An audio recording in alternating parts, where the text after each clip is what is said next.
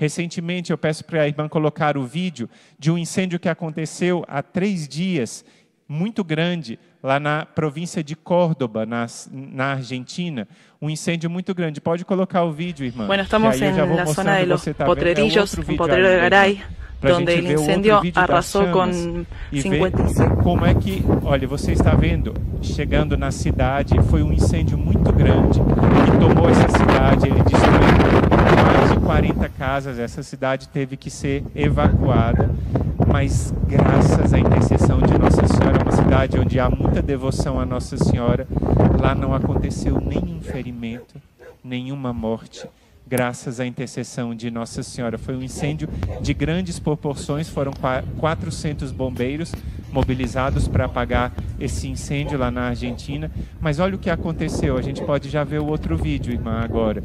Aquele outro vídeo mostra Bueno, estamos imagens en la zona da- de los potrerillos, de como en Potrero ficou de Garay, depois. Você tá vendo donde uma el das casas incendio que ficou arrasó destruída con pelo incêndio. 57 As árvores cabañas, completamente como se ven en las queimadas. imágenes, Você vai vendo árboles aí también, passando árboles a- derrumbados, a- a imagem ar- passando de um árboles que lado fueron para ya outro, tomados mostrando por el como incendio. ficaram, tá vendo essa Y mira árvore, esto, que mira, ela incluso caiu, acá hay inclusive un pedazo de un as árbol raízes con la foram raíz también que se encuentra arrancadas. aquí, Você tá vendo aí as raízes que cayó arrancadas e a a árvore, metros, com a força a do metros fogo, caiu de una mas gruta tem que uma está capela totalmente em honra da intacta Santíssima Virgem Maria, que ficou en todo este bosque completamente que vemos intacta, e quemado, as ¿no? pessoas não Realmente conseguem explicar increíble. Porque foram muitas árvores que caíram, esse vidro não se rompeu e a imagem está intacta. E as pessoas do lugar todas reconheceram nisso um sinal prodigioso da proteção de Nossa Senhora, que foi invocada nesse momento. A irmã Maria Raquel falava de livramentos, e eu partilho aqui um livramento por causa da ação prodigiosa de Nossa Senhora.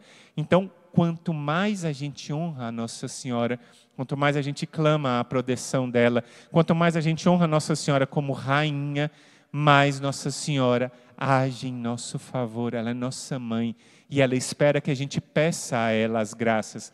Lembra quando ela apareceu a Santa Catarina Labourré, lá na Rue de Bac, lá em, em Paris? Ela disse: Essas graças não são mais derramadas porque não me pedem. Se me, se me pedirem mais graças, mais graças eu derramarei. Então vamos pedir essas graças.